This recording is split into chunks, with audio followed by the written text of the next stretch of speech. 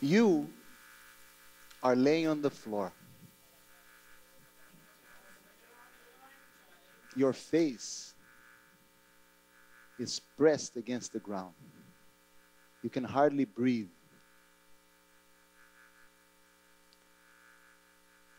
Because you have a heavy man laying on top of you with all his weight on your chest.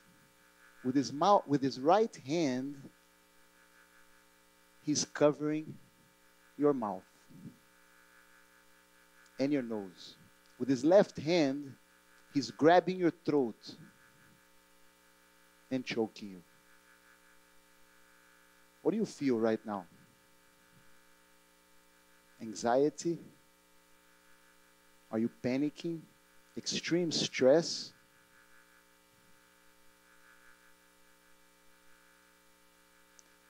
You're probably freaking out. But what if I told you that you could be calm even under this type of pressure, even in life's most difficult moments? And human lives are full of difficult moments. In moments like these, we often succumb to thoughts of anger, jealousy, self doubt, insecurity.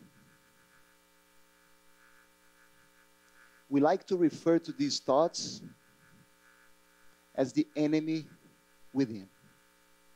The enemy within won't let you be your true self, won't let you achieve your full potential.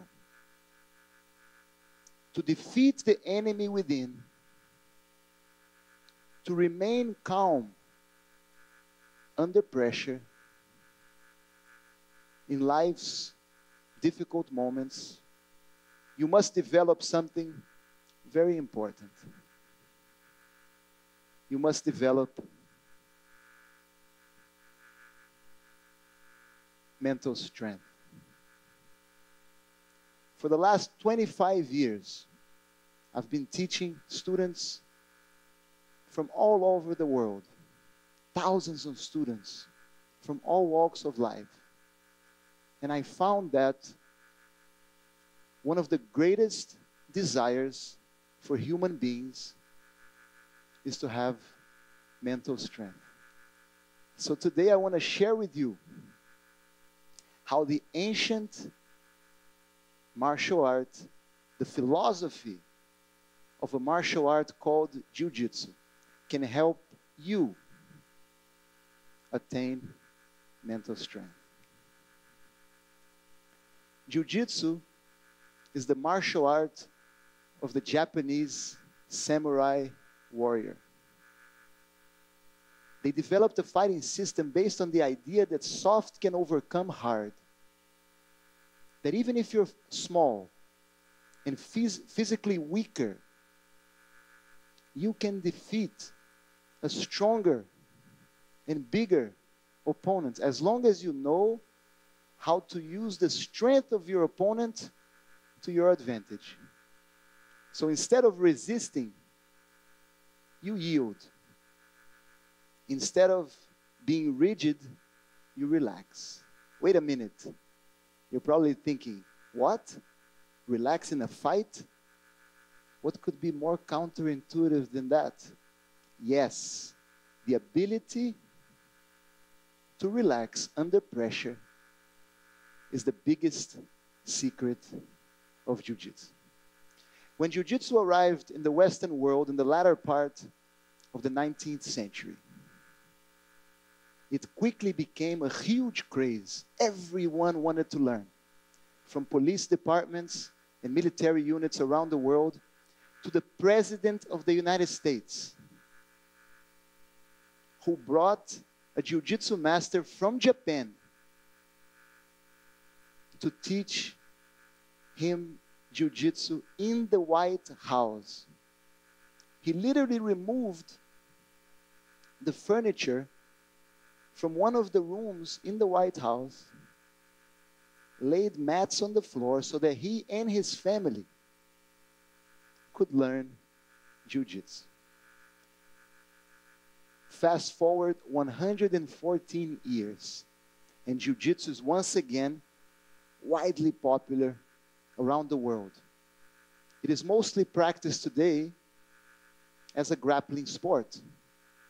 Well trained athletes compete with each other in high level tournaments that take place in every corner of the planet. But what many people don't know is that the ancient art of Jiu Jitsu has a profound philosophy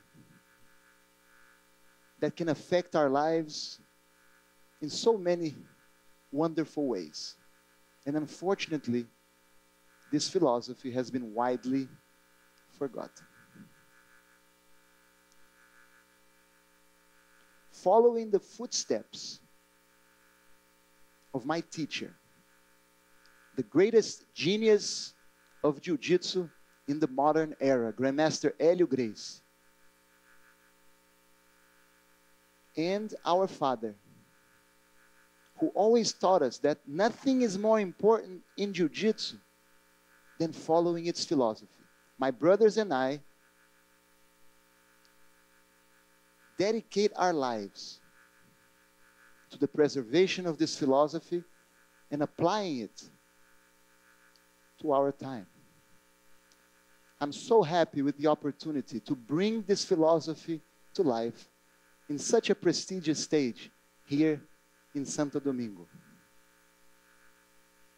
And the first thing I can tell you is that this philosophy will not do you any good if you don't practice it, if you don't experience it. The Tao Te Ching, a Chinese classic written over 2,000 years ago, which represents the philosophical foundation of Jiu Jitsu. In its first page, first phrase says, The Tao that can be told is not the eternal Tao. The name that can be named is not the eternal name. What does this mean? That words alone don't matter. You must train. And how do we teach the art of jiu-jitsu? For example, if I'm going to show you how to block a punch, I'm going to start by teaching you the defensive mechanism. Then you're going to have to go through a conscious process of repeating that skill hundreds of times until it becomes automatic, until it becomes a reflex, an instinct, and you no longer have to think. The mind is the same. What do you do if you want your body to be strong? You train your body to be strong. And if you want your mind to be strong, you must train it to be strong by repeating daily practices with little things and big things alike. And if you do it every day, it will become automatic and you won't have to think. The idea is to train your mind so you don't have to use it so you can trust your instincts. So, what I'm going to do here today is give you three daily practices so that you can incorporate the philosophy of Jiu Jitsu in your lives. Even if you never step foot in a martial arts school, you will be able to attain mental strength. You will learn to be calm under pressure and in difficult moments. Number one, make a conscious decision to focus. Start by focusing on your breathing. Observe the air flowing in and flowing out. Focus on your senses. See more, hear more, smell more, taste more, touch more, feel more.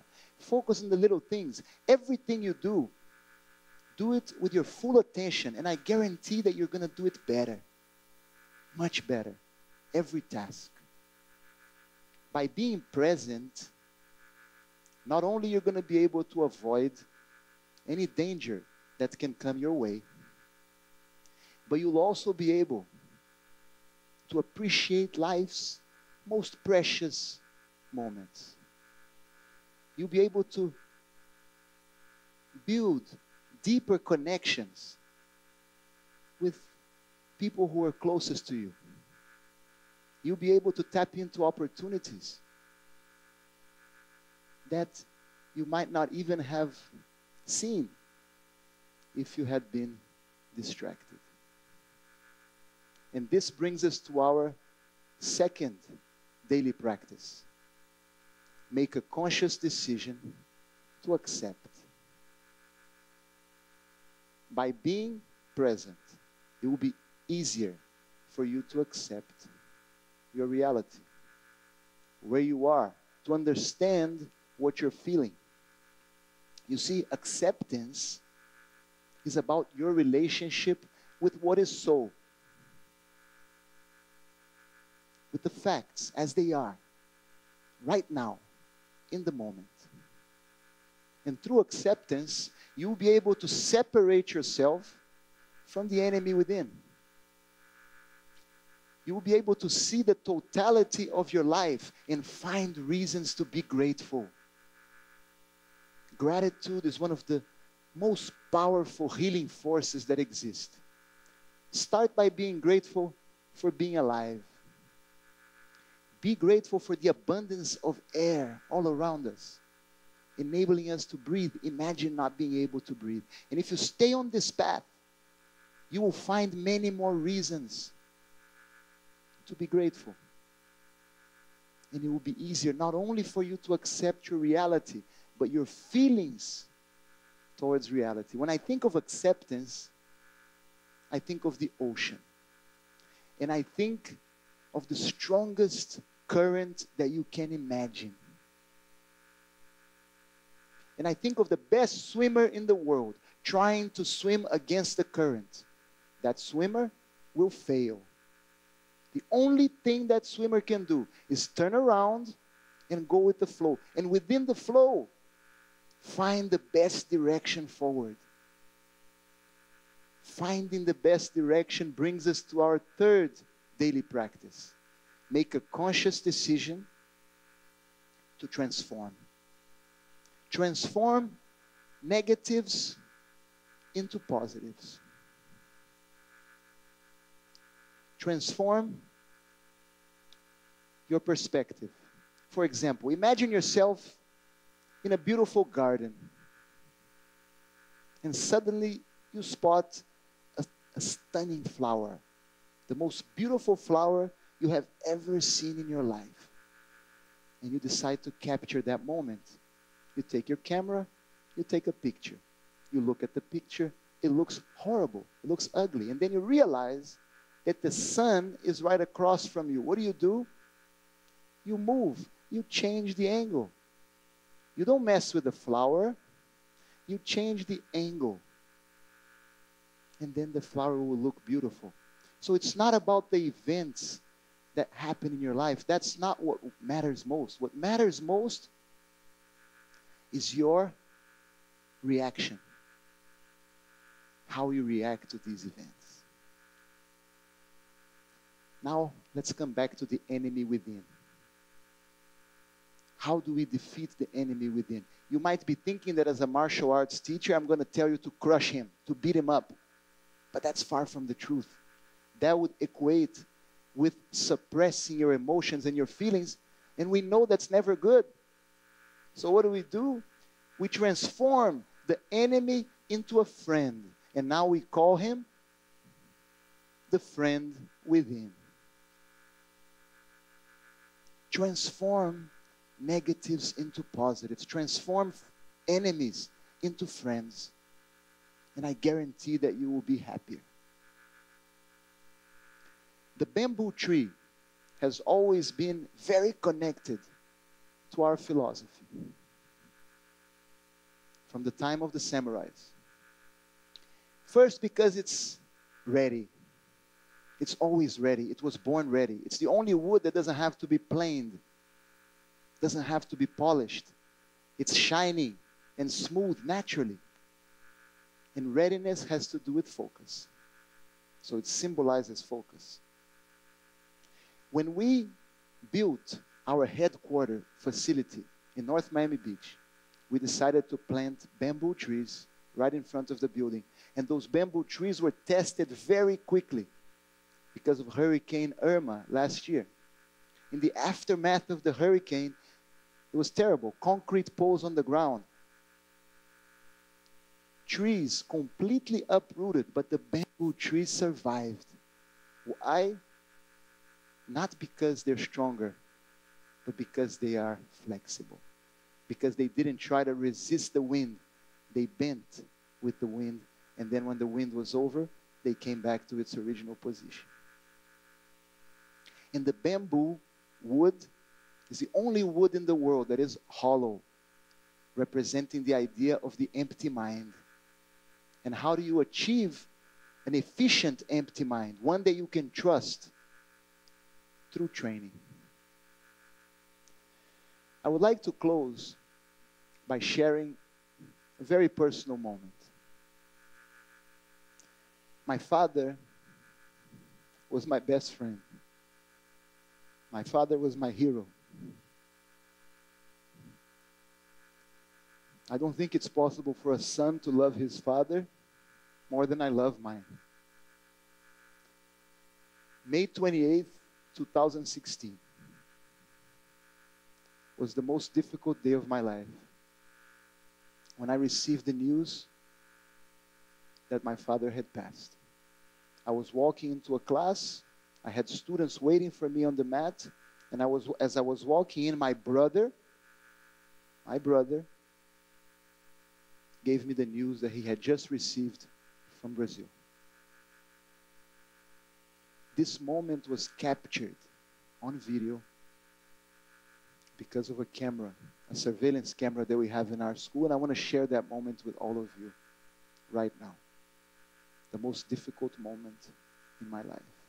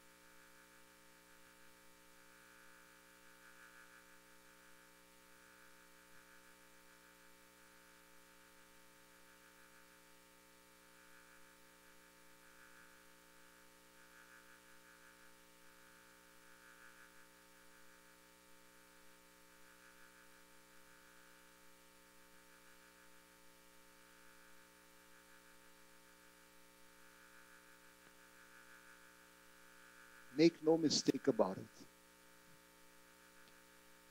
When I hugged my brother, I felt like I was laying on my back. My face was pressed against the floor.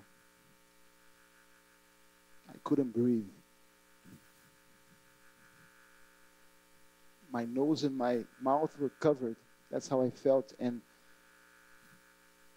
I felt like I was being choked. I looked at the ground and I remember thinking that I wanted to dig a hole and hide inside. But then I saw the mat.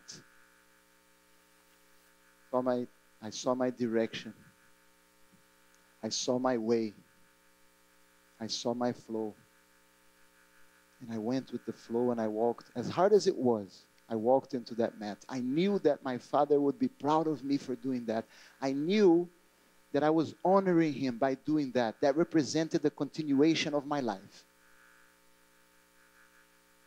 And today, looking at this video, I'm very proud of myself for doing that.